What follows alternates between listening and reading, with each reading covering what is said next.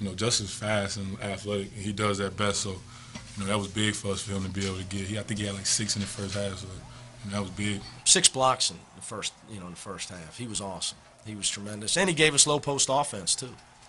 I mean, he was dominating the game for for a minute there. Uh, it was back. It was back to the small lineup. Great win for our team. Tremendous home court advantage uh, here for us late in the year.